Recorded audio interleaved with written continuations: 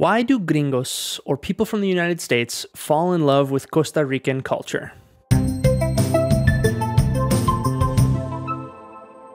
Firstly, if you're offended by the word gringo, I've yet to find a good word to say people from the United States, so I'm open to any suggestions. In most of Latin America, the word American isn't used and often is found offensive because we're all Americans. And in Spanish, we have this word estadounidense, which means like a person from the United States, but we can't really say United Statesian in English. Secondly, this video should probably be called Why I Fell in Love with Costa Rican Culture, because these are all my opinions and some people may think very differently from me. Please note as well, I've noticed a lot of similarities between what I'm about to say about Costa Rica and the rest of Central and a lot of South America as well. So you could probably generalize a lot of it. However, I'm going to focus on Costa Rica because it's what I know the best. Lastly, when I'm talking about culture, I'm going to be talking about the people and how they act because I already have a video about Costa Rican food. You can check that out here. And I'm going to have more videos coming out about different aspects of culture. The first thing I'll mention about Ticos, people from Costa Rica, is how nice, friendly, and welcoming they are. Ticos are always willing to take people in with open arms, even if it's a silly little gringo like me. They're just really chill and accepting overall. My first day in Costa Rica, I actually got lost on my way to my host family's house, and everyone was so nice in helping me find my way home. I'll leave the video of that story right here, but that was just my first experience with the warmth and acceptingness and how nice and, and helpful these people were. Greetings are also totally different in Costa Rica. One is almost always greeted with a small air kiss on the cheek, a hug or a handshake, or like a bro hug, depending on who you're talking with. I actually really love the way guys interact with each other in Costa Rica. It's a lot warmer and not so macho. Bro hugs are commonplace. The hug and the air cheek kiss is something that you absolutely have to get used to as a gringo. Uh, for me, it can be very, very, very awkward. It was at first because hand placement is important and, you know, there's a right way to do it to not look weird. And I went through the process of looking weird multiple different times until I stopped being weird and learned how to do a air cheek kiss. But once you are used to it, it just feels so welcoming.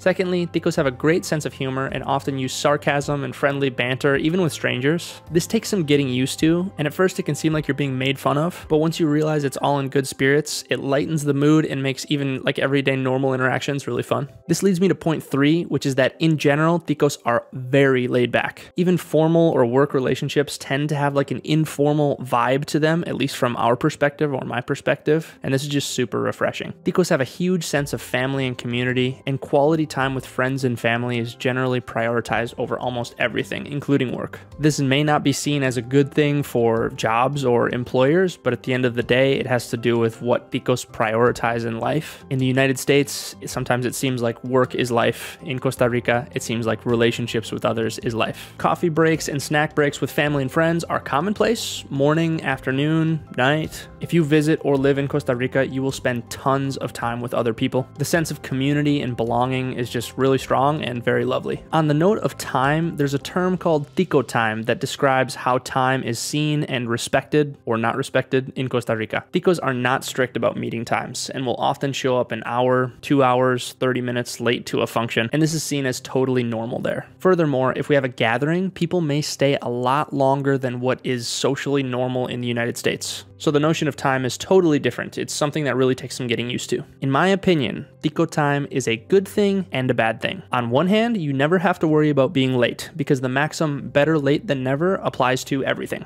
On the other hand, time is not respected to a degree that you will invariably have time wasted waiting for people. Lastly, if a Tico notices you're a gringo and you don't speak Spanish, they'll almost always treat you super respectfully and will try and speak English with you. Costa Rica has a super good education system and a very high literacy literacy rate, so most people in the country, especially the younger generations, can speak enough English that they can interact with you, help you, and just make your experience there super pleasant. This all goes along with the fact that they're just very open and giving and want to make you feel comfortable. All in all, this is to say that the Ticos are some of the best and nicest people that I've met in the whole world. I appreciate them so much that I even married one. Her family has taken me in as if I was like a second son to them, and I'll forever be indebted to them. Shout out to Ricardo, Lili, Pau, and of course my wife Andy. There's a slogan that I'm sure you've heard mentioned if you've read about Costa Rica that is pura vida. Pura vida literally means pure life, but it's used for everything from hello, goodbye, what's up, how's it going, I'm good, thank you, you're welcome, and much more.